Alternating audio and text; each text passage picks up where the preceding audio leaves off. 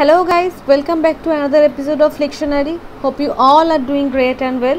मैं स्निग्धा और आज मैं आपके साथ the five most scariest horror movies के बारे में बात करने वाली हूँ नंबर वन पोजीशन मैंने दिया है गॉन्जियम जो कि एक साउथ कोरियन मूवी है जो बेस्ड है एक रियल लाइफ साइक्रेट्रिक हॉस्पिटल के ऊपर जो सेम नाम से है साउथ कोरिया में है इस मूवी को एक्चुअली एक डॉक्यूमेंट्री मूवी हम लोग कह सकते हैं। इस मूवी का स्टोरी एक्चुअली कुछ फ्रेंड्स के ऊपर है जो हॉरर वेब सीरीज़ बनाना चाहते हैं बना रहे हैं। और अपने व्यूअर्स को ज़्यादा से ज़्यादा अट्रैक्ट करने के लिए उन लोग ने एक प्लान खड़ा किया कि चलो सात ऐसे हॉरर प्लेसेस में जाते हैं कि जो रियल लाइफ हॉरर प्लेसेस हैं। उसमें से पहला नंबर पे ही वो लोग गॉन्जियम हॉन्टेड एसाइलम में जाते हैं। वहाँ जाने के बाद उन लोग को पता चलता है कि 402 नाम की एक रूम है, जो कि सबसे ज़्यादा हॉन्टेड माना जाता है उस जगह का। तो ऐसे करते करते जब वो लोग उस हॉस्पिटल के अंदर तक पहुँचते हैं, उस रूम तक पहुँचते हैं, तब उन लोग को पता चलता है कि वहाँ पे कुछ अलग ही चीज़ है, कोई अलग ही एंटिटी है, जो वो लोग कभी एक्सपेक्ट ही नहीं कर रहे होते और वो लोग का वहाँ पे उनसे इनकाउंटर होता है।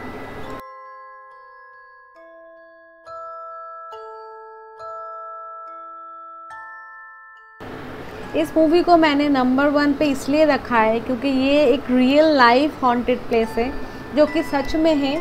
जैसे हमारे यहाँ पे भानगढ़ है, वैसे ही वहाँ के कुछ हॉन्टेड प्लेसेस में ये सबसे ऊपर आता है। इसमें बहुत सारे केसेस इनकाउंटर हुए हैं और ये इसके ऊपर जो डॉक्यूमेंट्री इन लोग ने बनाया है अच्छा बनाया है।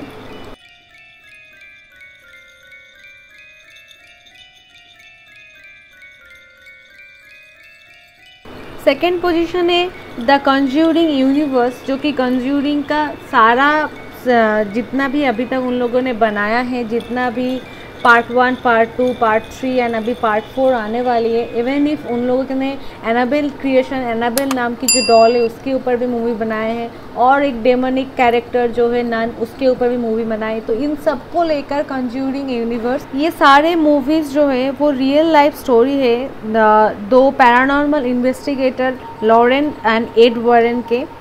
ये second highest crossing horror franchise है। अभी तक जितना भी हॉरर सीरीज़ या हॉरर मूवीज़ बनी है, उसके उसके हिसाब से। जो लॉरेन एंड एड वॉरेन है, उनका दावा है कि जितने सारे केसेस हैं, उन लोगों ने अपने हिसाब से हैंडल किए हैं और उस डेमनिक पावर को उन लोगों ने कंट्रोल किया है। लेकिन ये वो लोग दावा करते बहुत उसको मानते हैं, बहुत कोई नहीं मानते हैं। लेकिन आप अगर इंटरनेट पे सर्च करेंगे तो उनको देख पाएँगे, उनका असली केसेस देख पाएँगे। ये उसका मूवी का रूपांतर हम लोग कह सकते हैं, लेकिन जितना भी इन लोगों ने दिखाया है, सारे सच है, ऐसा बोला जाता है।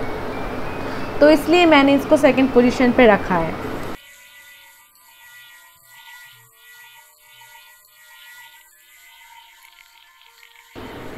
नंबर थ्री पे है ईट यूनिवर्स, जो कि It chapter one and It chapter two को लेके हम बोल रहे हैं। ईट चैप्टर वन आया था 2017 में एंड ईट चैप्टर टू आया था 2019 में। स्टीफन किंग, जो कि बहुत बड़े राइटर कम डायरेक्टर हैं, जिसके हॉरर सीरीज़ हम लोग सब जानते हैं कि उनका हॉरर सीरीज़ हॉरर बुक्स बहुत फ़ेमस है। उनका लिखा हुआ ये बुक के ऊपर नॉवेल एक्चुअली नॉवेल के ऊपर ये दोनों मूवी बनाया गया है।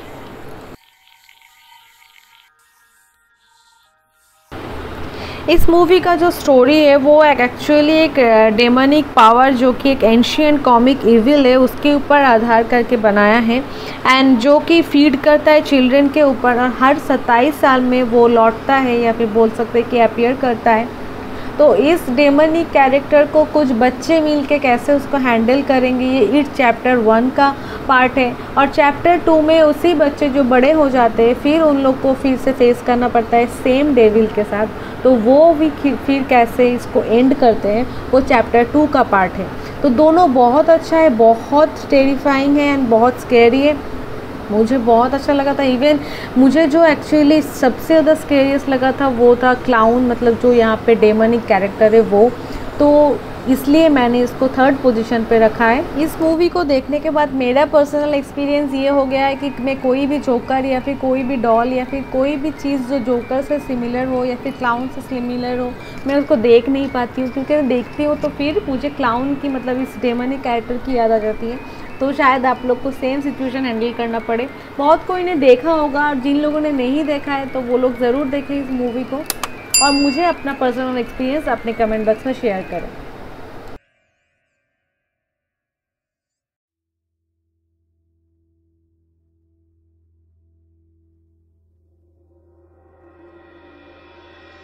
नंबर फोर पोजीशन है इंसीडियस जो कि एक अमेरिकन हॉरर फ्रेंचाइजी है।